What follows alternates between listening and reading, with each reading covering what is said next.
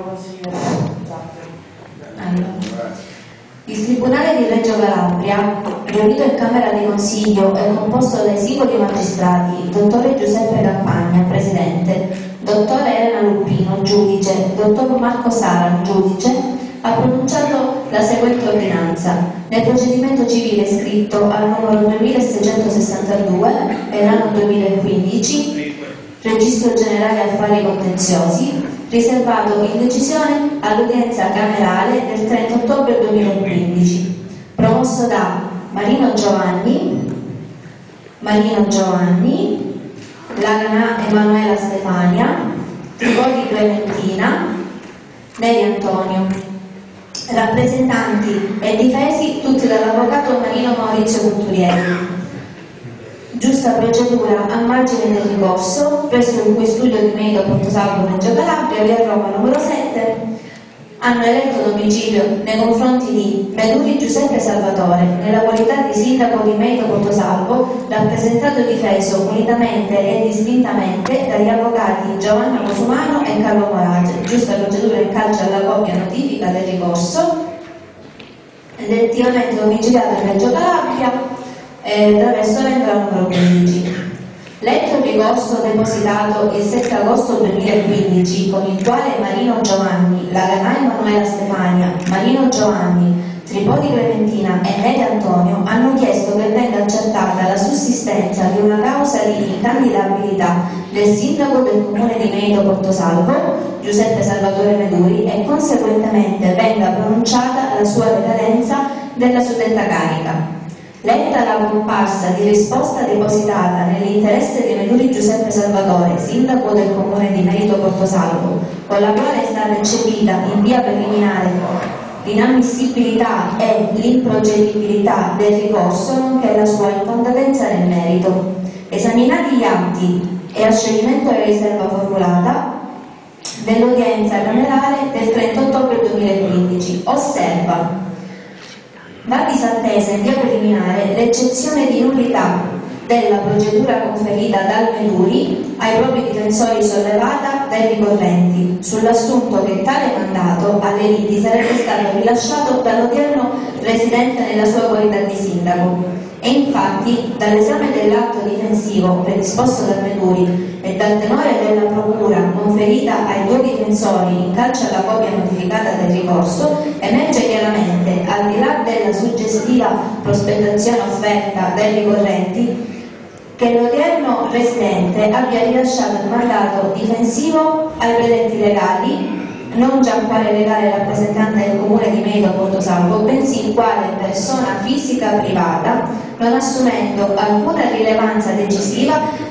la circostanza eh, che nella comparsa di risposta viene indicato l'inciso nell'interesse del sindaco, laddove tale, tale indicazione, al di là della suggestiva interpretazione offerta dai ricorrenti serve soltanto ad identificare la carica del soggetto conferente e rappresentato.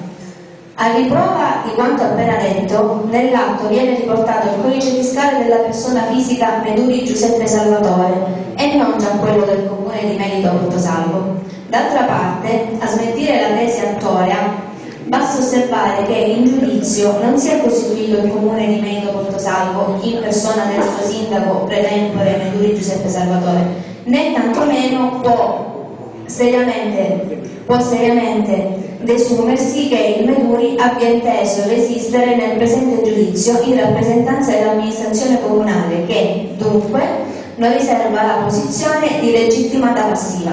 Nel merito il ricorso è infondato e non può pertanto trovare accoglimento per le causali qui di seguito esplicitate.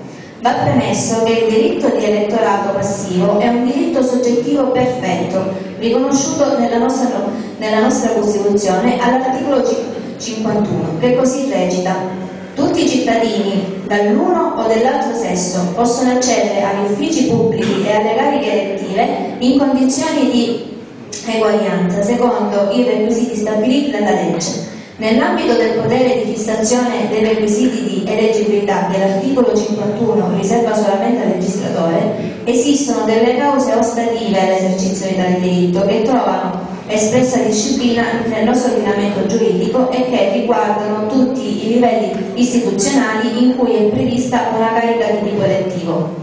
Proprio il principio di cui all'articolo 51 svolge il ruolo di garanzia generale di un diritto politico fondamentale, riconosciuto ad ogni cittadino con i caratteri dell'inviolabilità e si parla dell'ex articolo 2 della Costituzione.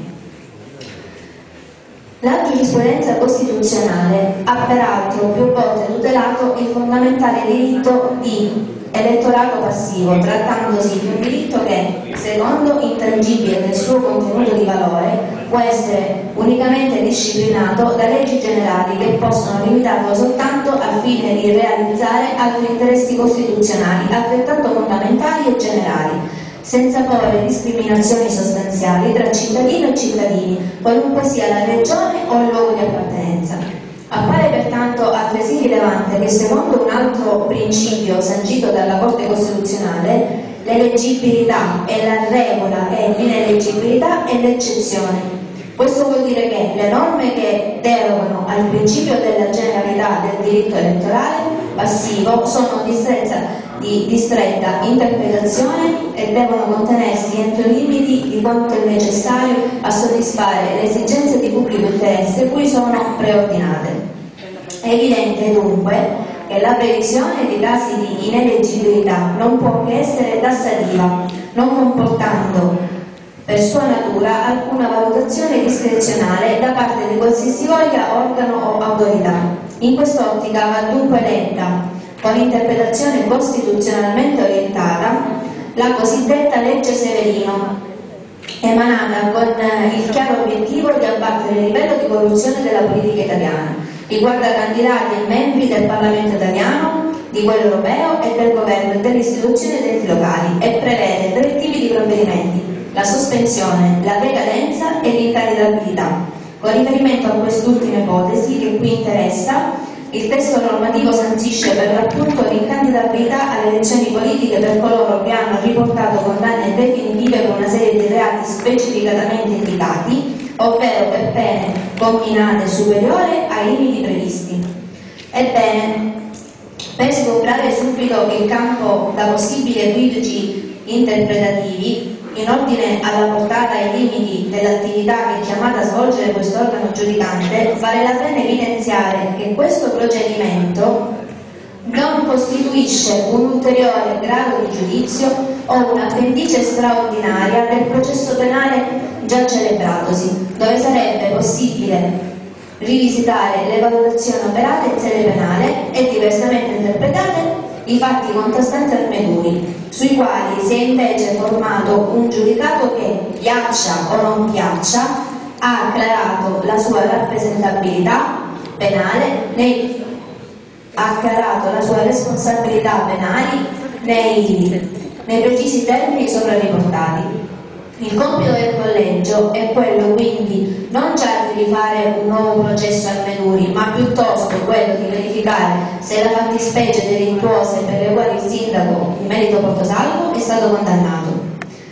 Integrino o meno alcune delle ipotesi tassative previste dalla legge Severino. D'altra parte, non spetta certamente a quest'ordine giudicare esprimere giudizi di valore di natura morale e etica in ordine all'opportunità di candidare a sindaco di un comune già sciolto per infiltrazioni mafiose e che ha già registrato l'arresto di ben due primi cittadini, nonché un provvedimento di candidabilità di gran, eh, di gran parte dei componenti dell'ultimo Consiglio Comunale per continuità mafiose.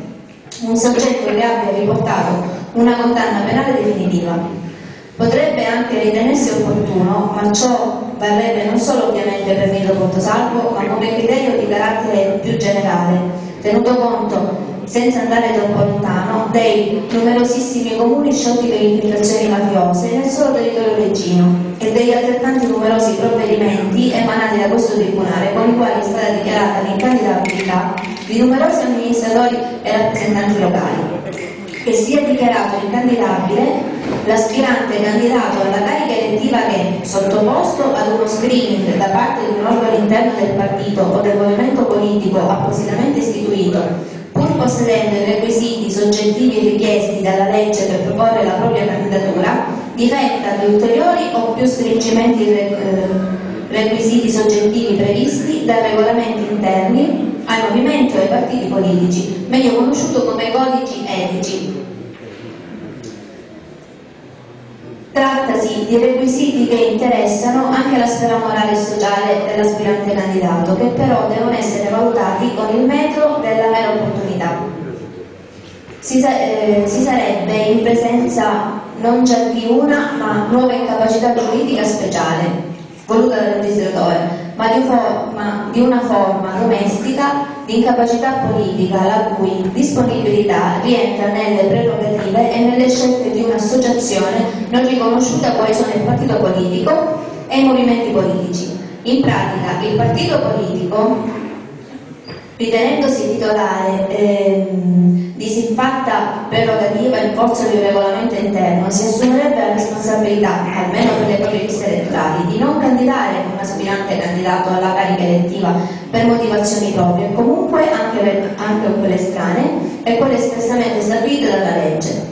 Orbene, questo nuovo ed aggiuntivo filtro inserito nei partiti o dai movimenti politici rischia però di infrangersi nelle norme dell'odierna Costituzione e sui principi che la Corte Costituzionale ha sancito in materia di eh, elettorato passivo sopra-enunciati. In definitiva, una cosa è affermare che la candidatura del Meduri può apparire inopportuna secondo una valutazione discrezionale non consentita dalla legge e che dunque non compete al giudice. Cosa diversa è invece sottoporre a veri a verifica la eh, legittimità, la sussistenza dei requisiti soggettivi secondo la previsione legislativa. Si badi bene, non si tratta di un'opzione interpretativa miope e ipocrita, avulsa dal contesto sociale in cui attualmente si, eh, si opera, ma di una scelta ermeneutica obbligata cui è chiamata l'autorità giudiziaria nella verifica del rispetto della voluntas legis, secondo un'interpretazione costituzionalmente orientata. Tanto premesso, soffermandosi sulla vicenda processuale che qui occupa, va detto che i ricorrenti denunciano la sussistenza di una causa di incandidabilità ai sensi dell'articolo 10 del decreto legislativo sopracitato sul presupposto che il Meduri è stato condannato in via definitiva alla pena di un anno e sei mesi di reclusione, pena sospesa, con sanzione accessoria della confisca dei beni, dei beni ex articolo 12 del decreto legislativo 306-92 per il reato di cui all'articolo 12 quinques del decreto legge 306-92 aggravato dagli articoli 112 eh, numeri 1 e 2 del codice penale e dell'articolo 7 della legge 575 del 65. Assumono in particolare che la condanna riportata dal Meduri violerebbe il disposto dell'articolo 10,1 nelle diverse ipotesi contemplate dalle lettere B, D ed E. Ebbene, ritiene il Consiglio che l'assunto di parte ricorrente si rivela viva di pregio giuridico per comunità espositiva vengono esaminate separatamente le censure che, che integrerebbero le tre diverse tipologie di, di violazioni denunciate. L'articolo 10,1 lettera B preme innanzitutto sottolineare che l'attuale sindaco di Meta Portosalvo è stato condannato per il reato di cui l'articolo 12 quinques decreto legislativo 306-92 ma non aggravato dall'articolo 7, legge numero 203-91. Non può sottaccersi, sì, sottaccersi, scusate. Allora, non può sottaccersi che tale circostanza aggravante, sebbene eh, sia stata inizialmente contestata dall'ufficio di, di procura all'odierno resistente, è stata successivamente esclusa dallo stesso organo inquirente in sede di richiesta di rinvio a giudizio. Deve aggiungersi che dalle allegazioni di parte resistente emerge che più che il soggetto avvantaggiato dell'intestazione fittizia, tale Cornaccio Giovanni, è stato assolto dal reato associativo per non aver commesso il fatto e che il tale Nogera Sebastiano è stato assolto dal reato a seguito di giudizio abbreviato in quanto estraneo alle compagine associativa della COFOR. In altri termini, non v'è dubbio che il reato per il quale il Meduri è stato condannato non è contemplato tra le fattispecie criminose rilevanti ai fini dell'applicazione della cosiddetta legge Severino, atteso specificante che non soltanto l'articolo 12 quinques non rientra tra i reati a cui va riferimento l'articolo 51,3 bis del codice di procedura penale, ma vi è più non figura tale dalle ipotesi de delittuose tassativamente indicate dall'articolo 10,1 della legge 235-2012. Condivisibili appaiono dunque sul punto le difese tecniche svolte da Meduri alla pagina 10 e 11 della propria comparsa di risposta. Non è infatti assolutamente convincente e persuasiva la ricostruzione giuridica prospettata dagli istanti secondo cui il, il ricorso nel reato di intestazione fittizia, ex articolo 12 di questo decreto legge 206-92, poiché finalizzato all'elusione di misure di, di prevenzione, costituisca una fattispecie criminosa che per costruzione agevola l'associazione mafiosa. In buona sostanza, ciò che preme evidenziare è che l'inciso contenuto dell'articolo 51,3 bis del codice di procedura, di, di procedura, penale, al fine di agevolare l'attività delle associazioni previste dall'articolo 416 bis, è perfettamente sovrapponibile sul piano letterale e funzionale con il disposto dall'articolo 7, legge 20391, nella parte relativa all'aggravante teologica, ovvero al fine di agevolare l'attività delle associazioni previste dallo stesso articolo.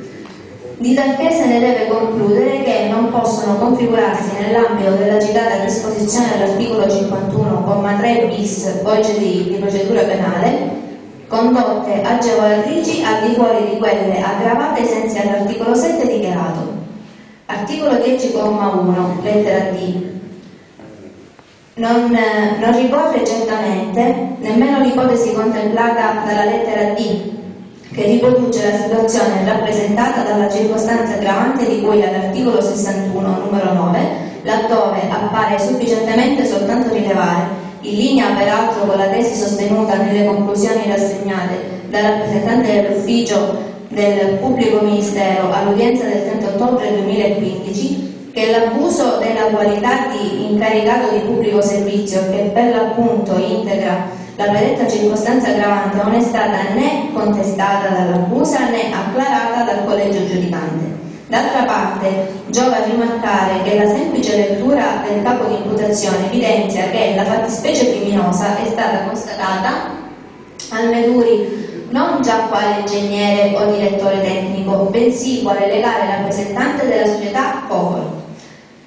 di talché non è dato comprendere le ragioni della contestata asserita predetta violazione, laddove non è stata la qualifica professionale posseduta dal Menuri a determinare la sua condanna. Per il resto vanno anche qui condivise le argomentazioni squisitamente tecniche supportate dalla giurisprudenza di, di legittimità utilizzate dal resistente per realizzare l'assunto attoreo.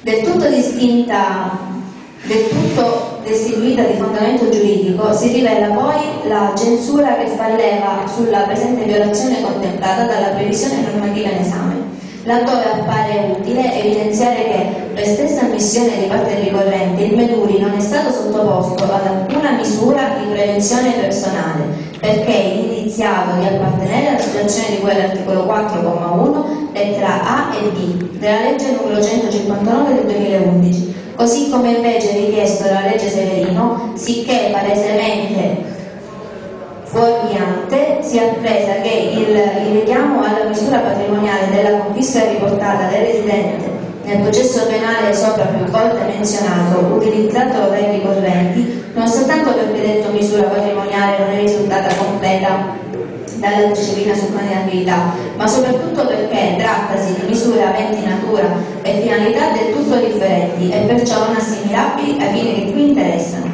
Rimangono assorbite tutte le altre eccezioni e questioni proposte. Le spese, le, le spese, del presente giudizio, secondo la eh, soccombenza, vanno poste a carico di parte ricorrente liquidate come da, come da dispositivo. Eh, per questi motivi rigetta il ricorso per le, cau per le causali di cui eh, in parte motiva.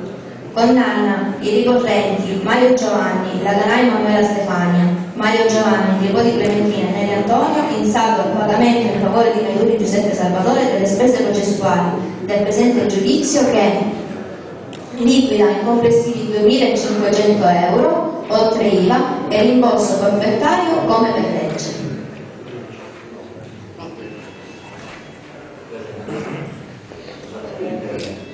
Ci sono ulteriori interventi? Patrizia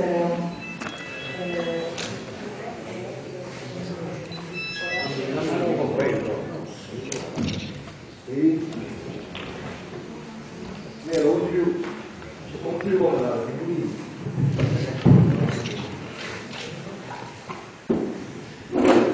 Io vorrei fare una riflessione.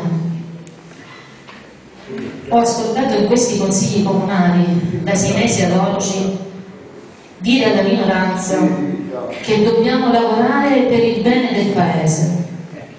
Consentitemi di dirlo.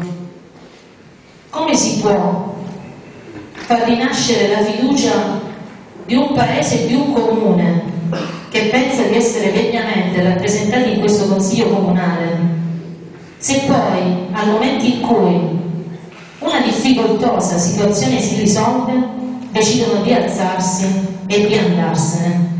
Per chi è rispettoso questo atteggiamento? Per nessuno dei presenti e sicuramente non per il nostro sindaco, che tutti ci rappresenta. Noi abbiamo subito sei mesi di commenti, di giudizi, di parole, che secondo noi sono stati espressi in maniera troppo facile. Oggi, che siamo qui con un elemento in più, qualcuno sostiene che è un elemento personale, ma un ricorso ad un sindaco, ad una persona, ma che in questo momento è il sindaco del nostro comune, e quindi una successiva ordinanza. Può essere forse un fatto personale o è un fatto di tutto il comune? E come è stato portato in questa aula tutto il discorso, tutto il ricorso fatto al sindaco, oggi forse non era di interesse l'ordinanza emessa dai giudici? Credo invece che questo sia un giorno particolare, anzi il giorno dell'ordinanza è stato un giorno importante. E lo è perché ha dichiarato sicuramente questa sentenza che i cittadini di merito saranno degnamente rappresentati per altri quattro anni e mezzo da un sindaco e da un'amministrazione comunale. È stato molto difficile e a tratti anche sconfortante dover fare i conti con chi per sei lunghi mesi ha pensato bene che la cosa più importante e più utile per il Paese fosse puntare il dito contro chi era stato democraticamente eletto dal popolo. Forse è stato troppo facile per alcuni cavalcare l'onda delle maldicenze e del pregiudizio. Questi stessi più volte hanno pensato di potersi sostituire al corretto operato dei giudici, condannando con parole e frasi offensive il nostro primo cittadino. E se in quest'aula qualcuno che sedeva nei banchi della minoranza che oggi è andato via ha chiesto più volte le dimissioni del sindaco e ci ha definiti incapaci come maggioranza, oggi avrebbe dovuto rimanere seduto lì e chiedere venia. Ma come chiesi in un consiglio comunale precedente, oggi lo richiedo. A chi è servito tutto questo? È servito al Paese? Al Comune? Ai cittadini di merito? Per che cosa? Per finire nuovamente sui giornali? Perché merito è questo? Non credo. La maggioranza degnamente rappresentata dai consiglieri e dagli assessori è rimasta accanto al sindaco lungo questi mesi, perché abbiamo creduto in lui e condiviso il progetto che insieme abbiamo creato. Forse oggi qualcuno è deluso, Forse qualcuno oggi ancora non riesce ad accettare la fine di una passata politica e a prendere atto che il sindaco di merito e che oggi rappresenta il nostro comune non è un mafioso. La maggioranza che oggi amministra questo paese non andrà a casa, rimane com- compatta accanto al proprio sindaco, perché è in grado di capire ed accettare che all'interno del nostro paese ci sono molteplici credenze politiche, però bisogna accettare un po' tutti che una governa e le altre dovrebbero coadiuvare per la ripresa economica e sociale del paese. E invece ancora una volta si cerca di creare un po' di confusione nella mente dei nostri concittadini. Chiaramente la sentenza si esprime senza alcuna riserva a favore di Giuseppe Meluri. Giuridicamente e legalmente viene ripristinato l'ordine e a questo punto non si può che parlare di una questione morale. A qualcuno fa comodo così. Il sindaco non è un mafioso, ma qualcuno lo addita di immoralità, sostenendo che avrebbe dovuto avere il buon senso di non candidarsi alle passate elezioni per il rinnovo del Consiglio Comunale. Ma questo qualcuno lo valuta in base ai propri interessi personali e al proprio modo di pensare. Mi piace riportare un pensiero. Francesco Alberoni, in un articolo del Corriere della Sera, ha affermato se uno fa quello che ci serve e la pensa come noi, diciamo che è buono e bravo. Se invece fa il contrario, siamo capaci di dire di lui cose spregevoli. Ma c'è un altro significato della parola morale su cui dovremmo essere tutti d'accordo. Ci sono coloro che fanno promesse, progetti, danno garanzie per ottenere, ottenere quello che desiderano in quel momento, in base all'utile immediato e personale. Non pensano minimamente al bene comune, restituiscono solo menzogne ed inganni. Ecco, per noi tutti queste persone sono senza morale. Poi ci sono delle persone che quando prendono un impegno, a costo di rimetterci anche personalmente, in sonno e tranquillità, lo mantengono e quando stabiliscono un rapporto con gli altri dicono con chiarezza che cosa possono fare e che cosa non possono fare. E anche se quel compito è gravoso e diventa difficile ogni giorno di più, lo portano a compimento con coraggio e a testa alta. Questo tipo di persone non si difende con la menzogna e non porta l'inganno. Inizia una competizione ma lo fa lealmente, per noi tutti. Questo è indice di rigore morale. Consentitemi di dire che questo rigore morale, sei mesi fa, cinque mesi fa, quattro, tre e oggi, noi lo abbiamo riconosciuto a Giuseppe Meduri, fin dal momento in cui lo abbiamo affiancato nella squadra di merito nel cuore e che oggi con più forza e con la stessa coerenza di sempre gli riconosciamo e ci riconosciamo. Quindi continueremo ad amministrare allo stesso modo, con trasparenza e lealtà. E vorrei dire al consigliere Minniti che non c'è, ma vedrà la registrazione, senza interessi personali, prendendoci cura della cosa pubblica, come se fosse casa nostra, con la stessa attenzione e la stessa voglia di puntare al massimo e al meglio. Questa sarebbe stata un'ottima occasione, non per alzarsi e andarsene via, ma per fare un esame di coscienza, chiedere scusa e lasciare lavorare, perché i conti li faremo tra quattro anni e mezzo. Grazie.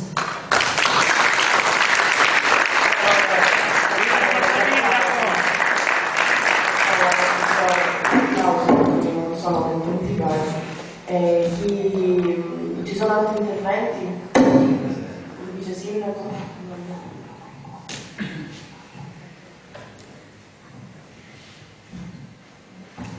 Guardate, io voglio iniziare il mio intervento da, da dove ero partito il 27 di agosto, là il giorno in cui il consigliere Minniti prima ha citato alcuni passi di, quelli, di quel consiglio. Sebbene lui ha posto una questione pregiudiziale che rientra anche nelle sue facoltà di consigliere, sebbene lui abbia anche abbandonato prematuramente l'aula consigliare e anche queste e gli altri gruppi della minoranza rientra nelle loro facoltà, però noi, maggioranza di questo comune, voi cittadini, non possiamo essere offesi nelle nostre intelligenze. Siccome con la scusa della questione pregiudiziale sollevata dal Minnino non passata, perché grazie a Dio la democrazia si regge sul principio della maggioranza che deve governare, abbiamo assistito ancora una volta l'ennesima mancanza di stile. Questo perché? Io quel giorno del 27 agosto mi ricordo in un intervento dove sono stato anche sottoposto a interrogazione da parte di alcuni consiglieri di minoranza, mi veniva chiesto in quella sede se sapessi della condanna del sindaco e come ho fatto a candidarmi. Io tranquillamente in quella sede ho risposto di sapere della condanna, di sapere che quella condanna non era ostativa alla sua candidabilità. Li ho invitati a esortare i consiglieri Minniti, Aria e Scambia di evitare giudizi sommari e di aspettare serenamente la decisione del giudice, ma così non è stato. Oggi che cosa ascoltiamo invece? Ascoltiamo che questa sentenza è una sentenza di carattere meramente personale e privatistico. Guardate, a tutto c'è un limite e anche a questo si deve porre un limite. È da sei mesi che giustamente o strumentalmente le opposizioni per la loro parte altri settori di interesse, altri centri di interesse, hanno quotidianamente paventato, adombrato, denigrato, delegittimato, diffamato, denigrato un'altra volta l'intera maggioranza e la persona, guardate bene, la persona nel suo essere dell'attuale sindaco. Mi dovrebbero dire entrambe le minoranze prima di entrare nel merito e di dare chiarezza di quella che è stata la valutazione del collegio giudicante, perché, badate bene, c'è stata una lettura poco prima del tutto fuorviante che non ci rende contezza di ciò che è stato, perché è soltanto stato letto un passo e uno straccio di quella sentenza a consumo e a gusto di un'interpretazione che non regge e non può essere poi accettata nei fatti. Veniamo, prima di entrare nel merito dei passaggi che interessa sapere come cittadini di quello che è accaduto in questi sei mesi, mi dovrebbero spiegare tramite i gruppi consigliari di minoranza che dicono di essere all'unisono ma che di fatto parlano due voci totalmente differenti.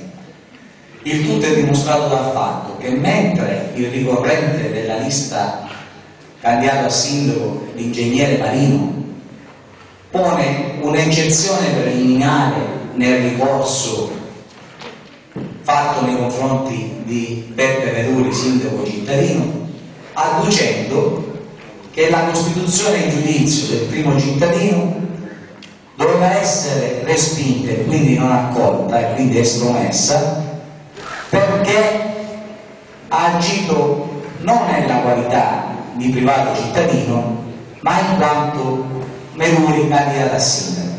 Oggi leggiamo nel passaggio che il consigliere di minoranza Minniti dice che questa è una questione prettamente privata e personale. Quindi, quindi dalle due una i due gruppi dovrebbero capire. Se il sindaco è una cosa privata e personale, non si capisce come è stata sollevata quell'eccezione in via preliminare per quanto riguarda la regolare Costituzione. Ed entriamo nel merito. Abbiamo avuto una sentenza che ha fatto chiarezza, ha ridato legittimità all'intero Consiglio, ha rafforzato la persona del sindaco Giuseppe Meduni e di questo caro sindaco te lo dico tranquillamente, devi ringraziare la tua minoranza, una minoranza poco accorta, poco avveduta, politicamente miope, perché oggi questa sentenza ti rafforza, ti tappa le ali, perché oltre a rilegittimarti non dà più a loro la possibilità di vivere o di adombrare ombre e scuse di soldi. Pertanto oggi il sindaco esce rafforzato, esce rafforzato la sua maggioranza e esce rafforzato l'intero paese, perché l'intero paese non è stato tradito nel momento dell'espressione del voto, perché chi ha votato questa maggioranza l'ha fatto scienza e coscienza e infatti il giudice ci dice che ha votato una persona perfettamente in linea con quelli che erano i dettati normativi riguardanti la candidabilità stessa. Ora è stata paventata l'incandidabilità sul presupposto di una condanna, ma più di una condanna, di un procedimento che ha avuto le sue origini nel 95 e che si è concluso poi nel 2006. Cosa accade? Io ci terrei, se il comandante, comandante, il maresciallo dei carabinieri si potrebbe avvicinare gentilmente? Se potrebbe seguire questo passaggio gentilmente?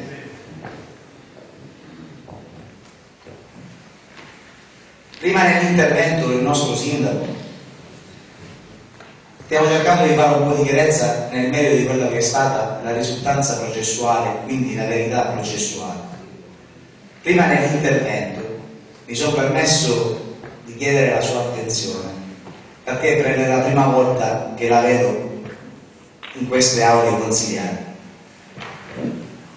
E il nostro sindaco prima, nel suo intervento, che in questo momento va compreso, va, va compreso a livello più generale, perché in questo momento ci sono i sentimenti, c'è la passione, c'è la sofferenza che emerge oggi. E nel momento in cui lui, il sindaco, dice avrei fatto tutto col senno di poi, io lo conosco, ci ho più volte parlato in privato e questo passaggio voglio che anche lei spero di farglielo comprendere. Il sindaco non dice avrei fatto tutto e quindi accetto o riavrei la condanna. Il sindaco vuol dire questo in quel passaggio. Io ho posto in essere delle condotte in assoluta buona fede, ho posto in essere delle condotte senza partecipare a alcun tipo di disegno criminoso, disegno criminoso che poi è stato anche qui, è stato chiarito dai giudici, perché questo procedimento nel quale il nostro sindaco ha riportato la condanna è un procedimento che inizialmente nasce con una matrice, che era quella di, una, di un procedimento di mafia per reati di tipo mafioso. E quindi era un procedimento della DDA. Nelle more del procedimento questo procedimento stesso viene derubricato la fattispecie di reato a un procedimento ordinario. Alla fine di queste risultanze processuali evince chiaramente che cosa?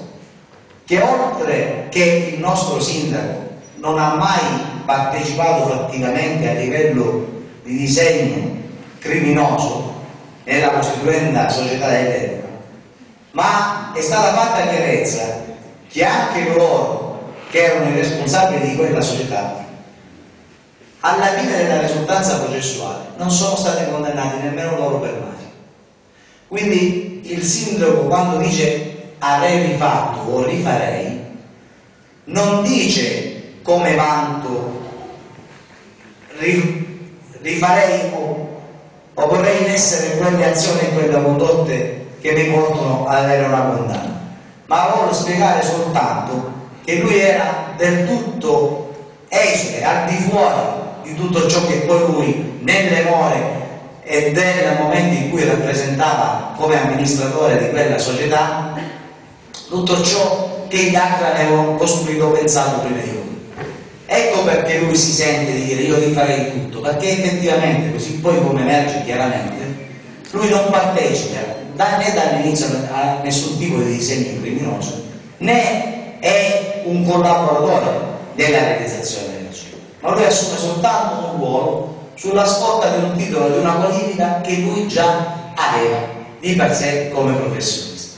Soltanto per questa era l'attenzione per la quale io ho richiesto la sua attenzione, perché magari arrivando in contesti nuovi, molte volte noi ne facciamo una colpa, abbiamo un modo anche nostro, un linguaggio proprio anche nostro della nostra vita, che molte volte non ci fa realmente dire o far capire quello che noi pensiamo. Soltanto questo è il piccolo inciso. Le chiedo scusa e la ringrazio. Voglio andare avanti. Allora diciamo che cosa? Noi dobbiamo ringraziare non a differenza di quello che abbiamo ascoltato. Vedete, oggi è un momento particolare, l'11 dicembre ha segnato un momento particolare. Noi siamo anche, proveniamo da una cultura, da una cultura relativamente cattolica e cristiana.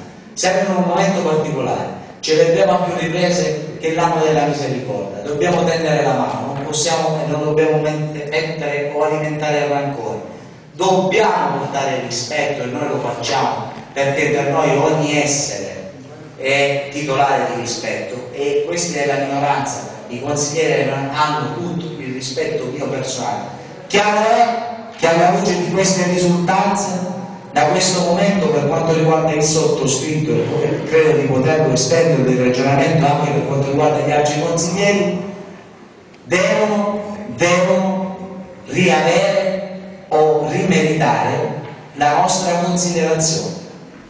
Perché quello che è accaduto oggi è un esempio di cattiva democrazia rappresentativa.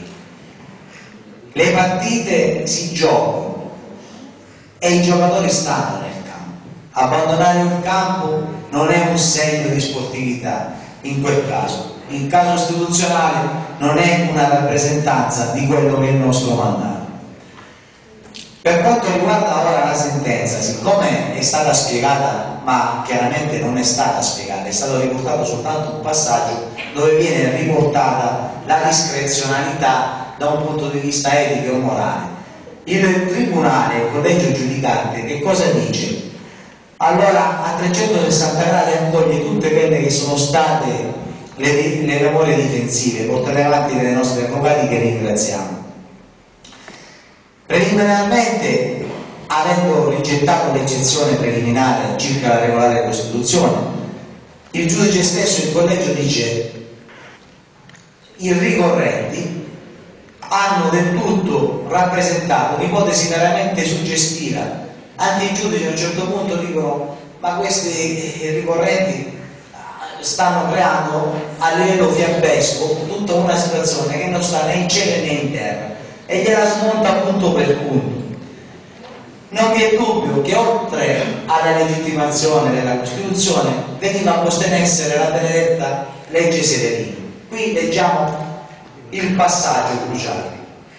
In quest'ottica va dunque letta con l'interpretazione costituzionalmente orientata alla cosiddetta legge Severino, emanata con il chiaro obiettivo di abbattere il livello di corruzione della politica italiana, che riguarda i candidati e membri del Parlamento. Ebbene, per sgomberare subito il campo da possibili equivoci interpretativi in ordine alla portata e ai limiti delle attività che è chiamata a svolgere questo organo giudicante, vale la pena evidenziare che questo procedimento non costituisce un ulteriore grado di giudizio. Quindi il collegio giudicante dice che la mera discrezionalità da un punto di vista etico o morale che sia non è competenza di questo grado di giudizio, ma si poteva rappresentare un'esigenza, poteva essere rappresentata una necessità soltanto laddove delle regole restrittive ulteriori rispetto a quelli che sono i dettati normativi vigenti nel nostro ordinamento, perché noi oggi viviamo in uno Stato di diritto e dobbiamo fare conto soltanto alla legge, dice se un partito adotta dei regolamenti ulteriormente stringenti può anche prevedere alcune tipologie più stringenti per quanto riguarda la candidabilità di un singolo cittadino. Siccome L'articolo 51 della nostra Carta Costituzionale disciplina l'ipotesi della candidabilità e siccome le ipotesi dell'incandidabilità secondo quanto previsto dalla legge Severino sono soltanto delle ipotesi rigide, tassative e personali, nel senso che se tu hai una di quelle condizioni ti viene applicata la legge Severino, se tu non hai una di quelle, eh, di quelle condizioni di partenza non ci può essere interpretazione alcuna, non ci può, non ci può essere spazio ad, ad, ad un altro tipo di valutazione ulteriore. Quello è. E quindi il ricorso si manifesta sin dall'inizio infondato sia in un fatto sia in diritto perché nel diritto, nel diritto secondo giurisprudenza e Cassazione costante che cosa si dice? Sì, andiamo a concludere perché giustamente i dieci minuti stanno, stanno scorrendo però cerchiamo di fare, di fare un swing per ripristinare soltanto la verità che la verità giuridica è emersa l'11 settembre, l'11 dicembre. Noi dobbiamo dire un'altra cosa anche, che qua siamo vicini al nostro sindaco, siamo vicini alla famiglia del sindaco, perché non è vero, caro comandante, che questo è un fatto privato. Lei deve pensare, deve crederci, in questi sei mesi tutto il paese che non ha accettato le risultanze regolari e democratiche del 31 maggio, aspettava malamente ai noi che saltasse il cosiddetto fantomatico TAP perché purtroppo io qui adesso un pochettino mi rattristo perché vorrei qui affrontare i miei consiglieri di minoranza in una logica, in una dialettica trasparente e sana perché anche loro devono comprendere che noi viviamo un momento storico particolare. Merito molto salvo, dopo un ventennio di varie vicissitudini, rappresenta e presenta per la prima volta, con tutti i limiti e le correzioni del caso, un'amministrazione che è un'amministrazione che ha di fuori, che non appartiene, che non è portatrice di interessi di sorta. Ma questo non può essere un fattore negativo, deve essere un quinto in più dove anche la minoranza deve capire che partecipa in un momento eccezionale per il paese, ma abbandonando il confronto e assumendo dei ruoli, delle maschere che gli fanno perdere anche a loro l'intelligenza, il pathos, l'energia positiva dare al paese hanno sbagliato completamente la loro missione. Quindi io vorrei dire tante altre cose, ma non è possibile perché non c'è l'interlocutore. Ma questo sarà oggetto di discussione ulteriore. Io vorrei ancora aggiungere qualche altra cosa. Il Presidente un pochettino mi sta a marcare e ha ragione. Però mi sia consentito un ultimo passaggio. L'amministrazione comunale è l'amministrazione di tutto il paese. L'amministrazione comunale deve avere come pietra miliare del proprio agire e del suo percorso il rispetto delle regole L'amministrazione comunale e il suo sindaco devono avere cura dell'interesse pubblico. Noi ci siamo candidati per questo, continueremo a farlo, lo faremo, chiedendo la collaborazione di tutti. E mi sia consentito perché questo è un momento forte che io realmente avverto, lo voglio esternare perché sono sicuro che è un messaggio che avvertono tutti, è un sentimento che avvertono tutti i miei compagni di squadra. Quest'ultimo passaggio io lo faccio al sindaco, a sua mamma, a suo papà che sono qui in aula, ai suoi bimbi, alla moglie, agli affetti più cari. Perché caro comandante, al di là di quello che è stato appena detto, sa quanto fango è stato e un bambino soprattutto, una bambina che ha a casa 10 anni o a 12 si sente dire, prima in consiglio, poi per le strade, poi negli organi di informazione, che il papà è mafioso, che il papà è criminale, che il papà ha dei parenti che hanno avuto dei problemi. Allora, e io lo chiedo serenamente questo, vorrei anche essere corretto e aiutato, però anche ai nostri consiglieri di minoranza vorrei dire questo. È stato montato un caso nazionale, anche un'interrogazione parlamentare sulla parentela del nostro sindaco. Ma io comandante le chiedo, se mio fratello sbaglia penalmente, io sono responsabile, non credo proprio. I parenti è una delle poche cose che l'essere non può scegliere nella vita, scegliamo la moglie, scegliamo gli amici, scegliamo tutto ciò che vogliamo. I parenti ce li dà il Padre Eterno, il Creatore, e noi li rispettiamo. Poi se qualche parente sbaglia, non condividiamo sicuramente ma non può essere l'operato di un parente a, delegittimi, a delegittimare l'intera famiglia. Ma questo vale, vale nel caso di specie per il sindaco, per la sua famiglia, vale negli ambienti di lavoro, vale dappertutto. Io vorrei rivolgere ai nostri consiglieri di minoranza che non ci sono. Adottando questo metodo, per questo ragionamento, vorrei dire, se è vero che una persona che ha un parente che ha sbagliato non è degno di candidarsi, se questo è il loro parametro. Io dico ai nostri cari consiglieri che qui dentro, che qui dentro, a partire da alcuni di loro, non poteva essere candidato nessuno se adottiamo questo misura. Perché come il sindaco magari ha avuto qualche parente che ha avuto qualche vicissitudine, c'è qualche consigliere che ha avuto qualche parente che la cosa pubblica l'ha gestita per anni. L'ha gestita in quel momento in cui è stato certificato dagli organi, non dagli organi di stampa, dalle verità processuali che hanno devastato un paese.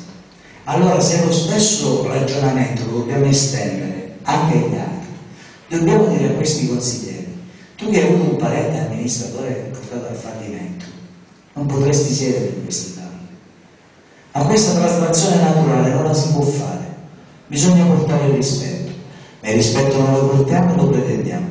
Il rispetto continuerà a portarlo, la mia amministrazione continuerà a portarlo, però la considerazione per il politico consigliere non è più scontata, dovranno riguadagnarsela agli occhi nostri, agli occhi dei cittadini e agli occhi di tutti. Io concludo con un abbraccio reale e che non sia soltanto un gesto simbolico al sindaco, che è un abbraccio sentito, che lo esterno per conto della, di tutta la maggioranza, è un abbraccio che deve riguardare lui, la famiglia per le sofferenze che ha subito e con l'auspicio che il futuro ci possa realmente vedere vincenti in una logica e in una cooperazione per il benessere comune.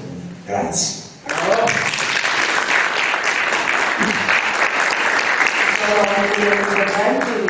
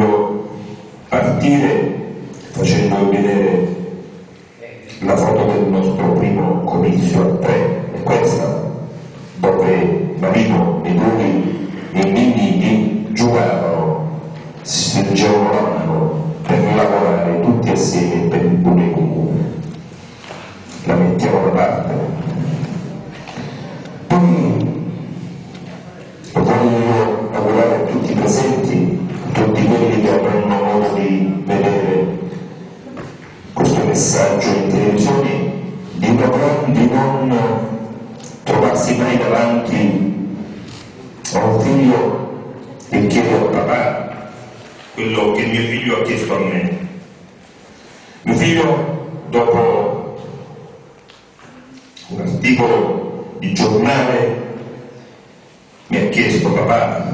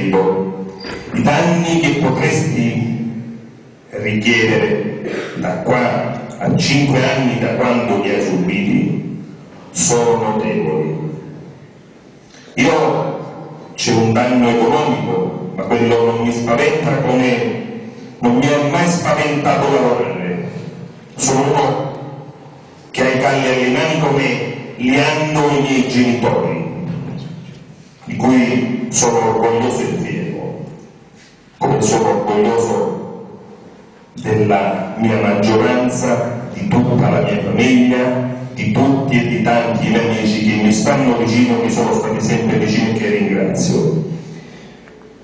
Io a Minniti, candidato a sindaco, alla consigliera Iaria, ho preferito scappare perché forse non perché temevano i cori da stadio, quelli non ci sono stati. Semmai c'è stata un'emozione e una gioia che io ho visto in tutti quelli che mi sono stati vicini, ma, vicini, ma significativa è stata la corsa, la rincorsa di Patrizia per abbracciarmi. E ieri a Minniti voglio ricordare quell'interpellanza che mi è stata fatta, quel sospetto, quella cultura del sospetto, o meglio come dice Minniti, quella cultura andranghistica, così vuole accoppare Invece parlo di cultura del sospetto, aspetto da loro quella risposta e mi richiamo al ricorso del CREA, cittadino svizzero. Sì, sempre là, perché la lingua batte dove il dente duole. Cittadino della Svizzera che viene a fare un ricorso, gli muore il padre, viene per tre giorni, guarda caso, residente iscritto all'AIRE del comune di San Lorenzo, non conosce il Meduri se non per una foto sul giornale propone il ricorso. La Minniti, la Iaria, dice vorremmo capire pure noi il perché il CREA ha ritirato il ricorso. Quasi quasi il Meduri l'ha minacciato. Così, questo è quello che voleva dire anche se non ha detto la consigliera Iaria, forse avremmo capito stasera una risposta. Il perché hanno fatto quell'interpellanza sui nomi dei turisti, perché volevano far emergere che il Meguri sindaco avesse indicato tra i vetturisti un nominativo di un nipote, questo gli era stato detto. Meduri il nipote anche quando lo poteva fare per cose più stupide o banali quali la gratificazione della nomina nella commissione elettorale nella, come scrutatore perché è soggettivo e insindacabile non ha mai pensato a un nipote eppure ne ha tanti ma ha pensato solo al bisogno della gente comune. Il Minniti è il che ci, ci indica nominetti come portatori di interessi personali. Io vi voglio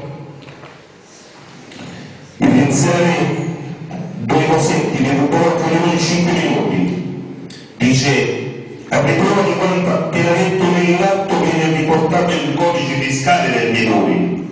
Io ho inteso assumere la difesa in questa vicenda titolo personale. L'avrei potuto fare nelle doppie veste e magari sgravare quella parte, una parte delle spese. Non ho inteso né intendo farle, anche se ci dovesse essere l'appello. Viene un altro passaggio, dice l'eleggibilità è la regola, l'ineleggibilità l'eccezione. Il marino si appella al suo ricorso, però stranamente, e non capisco il perché, dice anche se vinco il ricorso non verrò mai in consiglio comunale. Questo mi è stato detto in un confronto a tre. Allora andiamo all'altro passaggio. Io potrei essere candidato per la legge Severino e dice il giudice in quest'ottica va dunque detta con interpretazione costituzionalmente, costituzionalmente orientata alla cosiddetta legge Severino, emanata con il chiaro obiettivo di abbattere il livello di corruzione della politica italiana. Meduri non rientra nella legge Severino. Poi c'è un passaggio, due passaggi, entrambi significativi. Ebbene, per sgomberare subito il campo da possibili equivoci interpretativi, perché durante il dibattito io annotato, è stato detto ai giudici, è stato chiesto uno sforzo interpretativo lecito senza fermarci al solo casellario giudiziario del Meduri. Guardiamo come nasce la sentenza da dove ha origine e ci ritorniamo, perché se così facciamo possiamo e chiediamo che ci siano le possibilità per andare un pochino oltre il dettame normativo. Bene, questo è stato detto, io mi ero sempre dichiarato, ma non perché temevo, ve l'avevo detto, non sarei stato un folle, un pazzo a trascinare non una, ma l'intera cittadinanza di merito in una situazione da cui già così è difficile uscire. Figuriamoci se ci, sarà una, ci dovesse essere una nuova commissione straordinaria.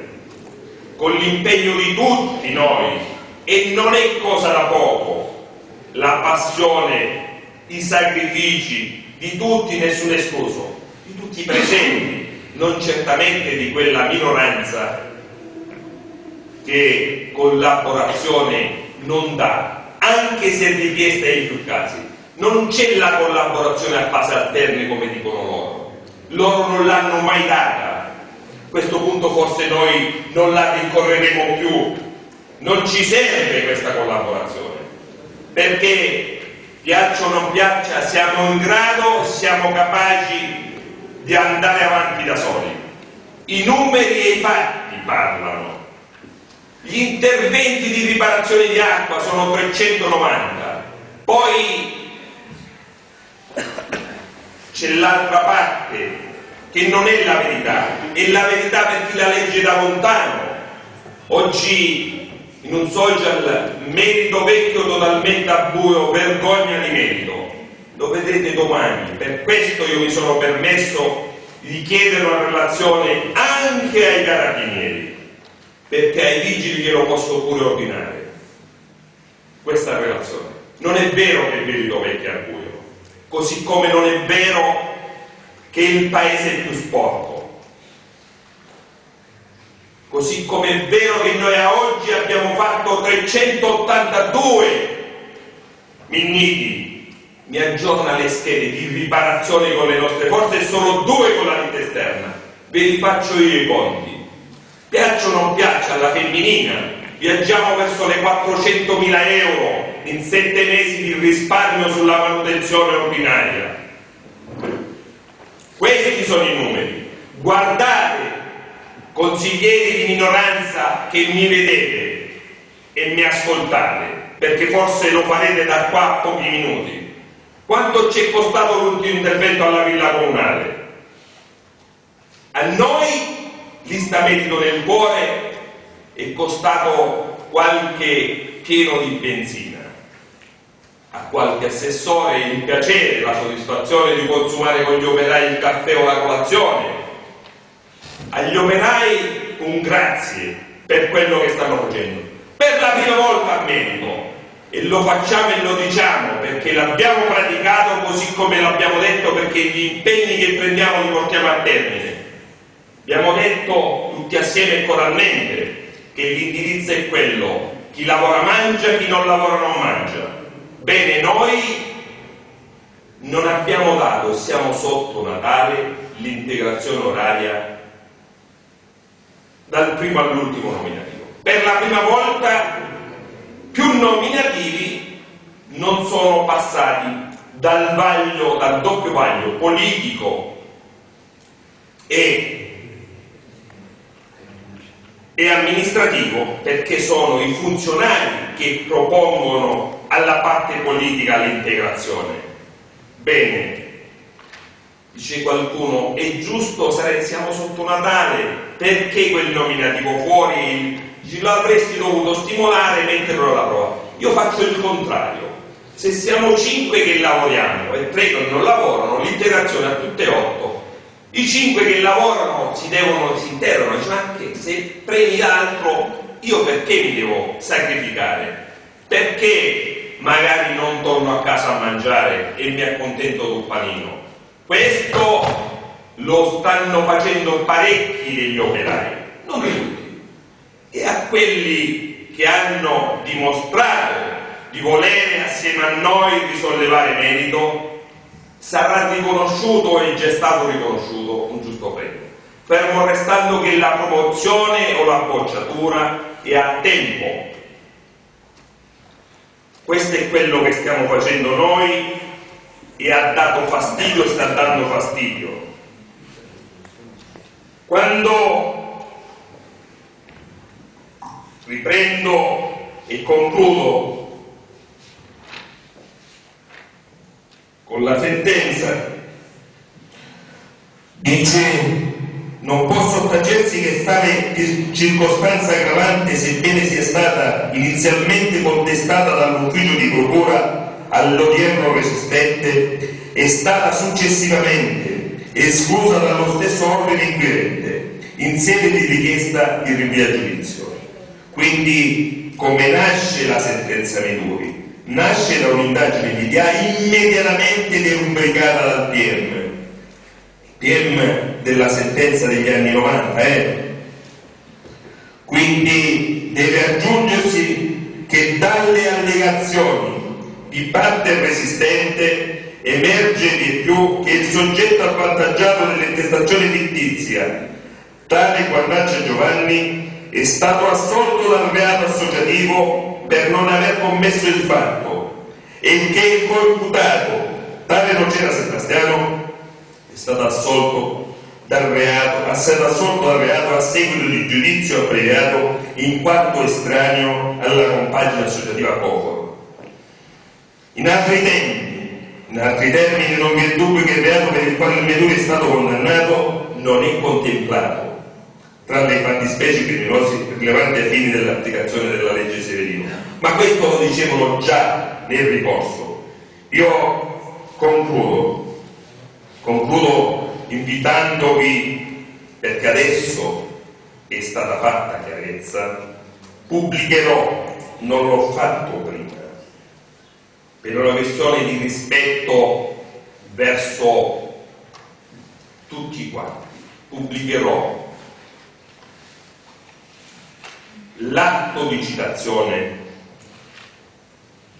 pubblicherò le difese dei miei avvocati che ringrazio pubblicamente, pubblicherò le controdeduzioni e abbiamo già pubblicato la sentenza. Io concludo con quello che mi ha detto l'avvocato Morace. Dice, io le faccio una proposta, riapriamo il processo, lei verrà assolto. A che serve? Spendere soldi? Non l'ho fatto. Ah, Badate bene, avrei potuto fare, lo dicono tutti, e questa è la vera vergogna, la riabilitazione. Quindi perché si è montato un caso nazionale ed internazionale sul nulla? Perché si è andati dalla Vieni?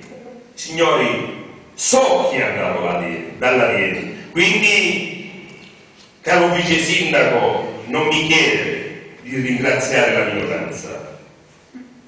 Lo avrei fatto come questo assolutamente. Siamo, siamo stati forti quando ci siamo messi tutti assieme. E questa la nostra arma vincente, perché ve l'ho detto sempre, assieme quando è maturata la candidatura di Rocco e di Ninetto Minori abbiamo vinto, vi ho detto. L'avevo detto in campagna elettorale, siamo riusciti a resistere e oggi ve lo dico, abbiamo messo in atto la rivoluzione per la rinascita meritese. Dobbiamo solo resistere, siamo capaci e resisteremo perché io ho la testa più dura dei ceci, voi non siete da meno, noi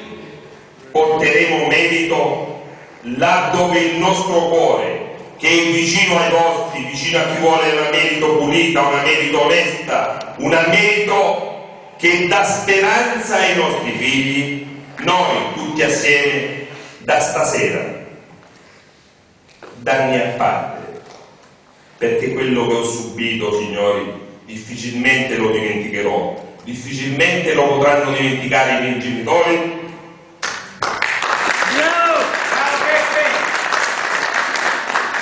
i miei familiari tutti, i miei parenti, perché, vedete, per quanti puliti si possa essere, se viene buttata farina addosso, qualcuno della minoranza è specialista in queste cose, ha una tradizione alle spalle. Io non mi dimenticate, gioca a ricordarlo quello che ho subito quando ero assessore ai lavori pubblici nella giunta Tripoli. Non lo voglio citare, però la storia fa parte del primo dei tre tempi e il tempo passato, come ho detto stamattina. E il passato ci deve servire per far tesoro degli errori o delle esperienze che ci possono migliorare.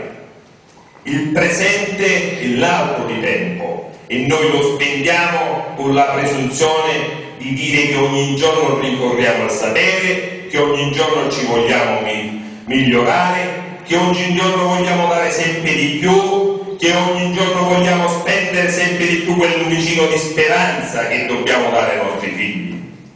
Il futuro. Il futuro non è una certezza, il futuro è quella speranza che io per il vostro tramite voglio augurare a tutti quanti, che sia migliore, che sia più sereno, che sia più vivibile, che sia in un clima di pace, che sia in un clima non di guerra, di tutti contro Peppe Meduri, perché la verità è questa.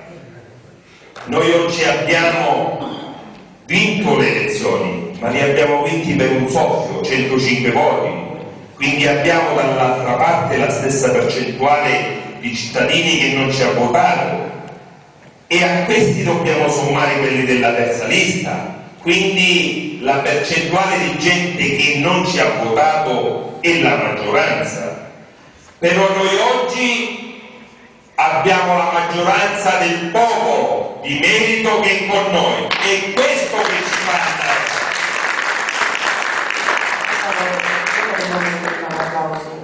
Io stamattina ho dato il mio impegno a Don Malara.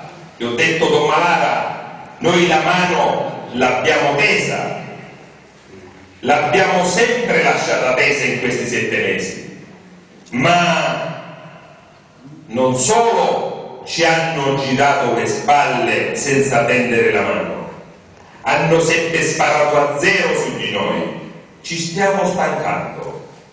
Non è detto che questa mano verrà tesa in eterno. Il perdono sì, ma a condizione. Anche se un vero cristiano sotto il periodo di Natale dovrebbe dire il perdono è assoluto. Perché dico queste cose? Per dirvi, e chiudo, perché l'ho fatta abbastanza lunga, i danni restano. Io ho pensato più volte di dimettermi. Subito dopo la sentenza, ho parlato spesso con papà, con i miei fratelli, con mia mamma, lui ha detto, ma non è praticabile questa strada, una volta dopo la sentenza chiudiamo, chiudiamo questa esperienza da vincitori. No, chiudendo noi perderemmo questa lotta per cui ci siamo spesi e per cui abbiamo ricevuto l'affetto, l'abbraccio, la stima di Bruno, di Diretto, di Paolo, di Maria, di Lenio, di Maria, di Rocco, di Patrizia, di Nino e di Fabiano. Abbiamo coinvolto in questo progetto gente seria, come Donatella Parmisani che ringrazio, il Lillo, Emma, Lillo qualcuno, vabbè, è chiaro che mi riferisco e anche ai, ai candidati e consiglieri che non sono stati eletti. Io un invito alla collaborazione, a starci vicini, perché non è passata la tempesta. Caro Mimmo, cara Patrizia, Rocco, Fabiano e tutti, tutti, la tempesta non è passata. È difficile ingoiare questo rospo. Qualcuno dice non gli è andata giù, è la verità. Un'amara verità per loro che erano abituati a stare sempre dall'altra parte. Perché vedete, quando dicono che siamo inetti, che siamo qua per interesse personale, io chiedo un solo arco che va verso un indirizzo personale, uno, uno, uno. Io mi è sfuggita qualcosa, vi rubo un attimo ancora di pazienza. Forse non c'è nessun tecnico a merito che come me, o pochi sono come me, che possono dire di non aver mai avuto un incarico pubblico nella loro vita, nel circondario perché io oggi ho avuto un incarico. Per sorteggio e con buonanima di far comatà come giovane progettista appena laureato nel 1996 e poi sono stanco di sentirmi dire che ho e che devo pagare per amicizie, per parentele scomode. Perché vedete la verità che non viene detta ma che è verità e che sia un cugino che è stato arrestato, ma dall'altra parte, il cugino che è stato arrestato è il figlio del fratello di papà, ma il figlio della sorella del papà sta sopra la testa del capitano dei carabinieri, così gli ho detto l'altra sera io, ovvero lavora nel piano sopra, Franco Consolato, figlio di Meduriere, il fratello di Franco Consolato, Franco Giovanni, il finanziere, il figlio dell'altro fratello del papà è Meduri Giuseppe, mio omonimo, quello che è il figlio diversamente abile, ha detto il maresciallo, e continuo, c'è Mimmo Tripoli, c'è Mimmo Iaria, c'è Antonio Neno, quindi la partita finisce 7 a 1. Se andiamo a eliminazione è 6 a 0. 6 a 0 è una partita da tennis, così la coloriamo un po'. Quindi nulla di cui vergognarmi, assolutamente. Oggi qualcuno mi chiede se avrei pensato mai, se avessi pensato mai di subire quello che ho subito. No, assolutamente no. Era fuori da ogni più rosea delle previsioni o della peggiore delle previsioni. Non pensavo mai di subire e di far subire perché non mi preoccupa quello che ho subito io, mi spaventa quello che hanno subito le persone vicine a me, i miei figli, mia moglie, i miei genitori, i miei fratelli, i miei amici, i miei parenti. Perché noi, al contrario di altri e di tanti, non riusciamo a buttare dietro le spalle nulla. Io vi invito, invito anche i consiglieri di maggioranza, di minoranza, che non ci sono, invito tutti quanti. Il 22 segretario, abbiamo già parlato, invito i vigili, lo farà il comandante, l'ho già detto al comandante di stazione dei carabinieri, al comandante della forestale, tutti assieme il 22 alle 12.30 ci faremo gli auguri di Natale in questa sala. Con, una, con un augurio di cuore per chi magari sarà assente che sia un Natale di pace, di serenità, di tanta salute e di tanto benessere, ma già basta la pace e la salute. Un augurio veramente di cuore affinché tutta merito, tutta la Regagna, tutto il mondo possa ritrovare nel Santo Natale la serenità, la gioia di vivere, la tranquillità e la salute di cui tutti quanti abbiamo tanto tanto bisogno. Grazie.